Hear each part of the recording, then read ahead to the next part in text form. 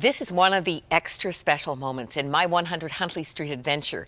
I had the privilege of meeting one of my mentors. Dr. Larry Crabb is a well known psychologist, conference and seminar speaker, Bible teacher, and popular author. He currently is scholar in residence at Colorado Christian University in Colorado and serves as spiritual director for the American Association of Christian Counselors. Dr. Crabb and his wife Rachel live in the Denver area, but he's going to be right here for the next two weeks of some very special programming. So we're going to take some time to get to know him. Welcome, Dr. Crabb. Great to be with you.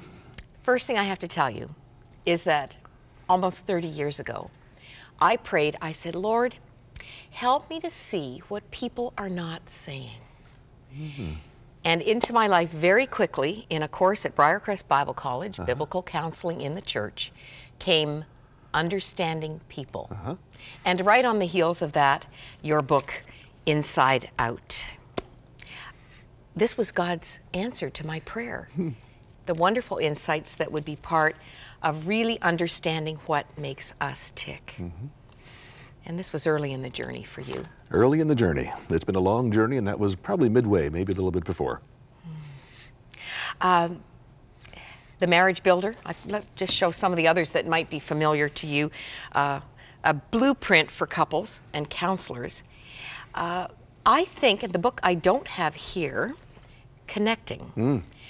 signals a major paradigm shift that created a ripple in counseling circles, uh, Bible colleges, seminaries. Everybody heard that something had happened to Larry Crabb. Hmm.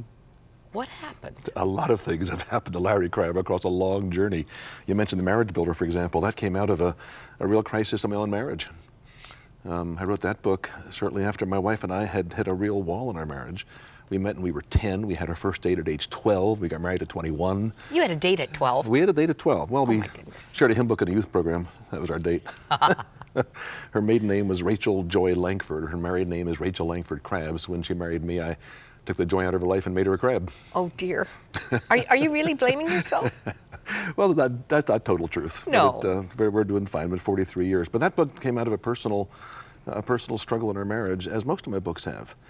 And there are a lot of things in your life that, uh, well, for example, my sister in law came here today specifically to meet you personally because when she took the Grief Share yeah, program yeah, that yeah. some of our viewers will be familiar with, you were one of many professional counselors who spoke into yes. that journey.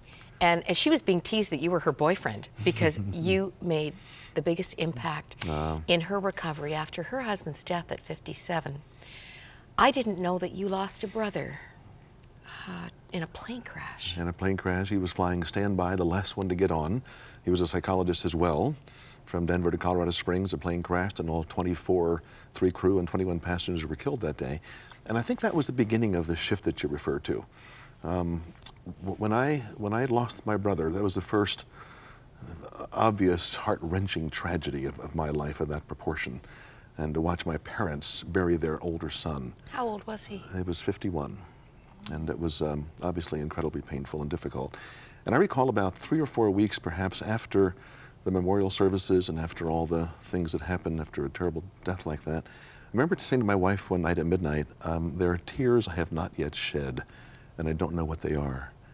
And I got up to, in the middle of the night and went into my room and um, got my Bible out looking for answers, and I just couldn't find them. And I got so, so angry. And then the anger gave way to tears, and I just fell on the floor and sobbed for probably half an hour. And I prayed a prayer that was pivotal, and pivotal in, I think, my shift from where I've been to where I am now. And the prayer was very simply put, but it came out of my soul. The prayer was, Lord, I know you're all that I have, but I don't know you well enough for you to be all that I need.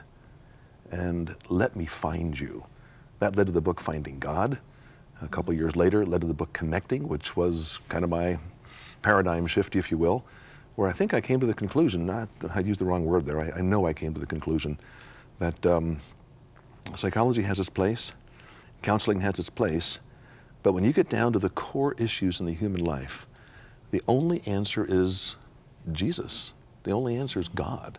And I remember thinking, what, what does that mean? It also occurred to me when I, during that time that, that I think I went into psychology because I, as a, even as a kid, as a teenager, as a young adult, I was struggling with all sorts of things that my understanding of Christianity wasn't speaking to.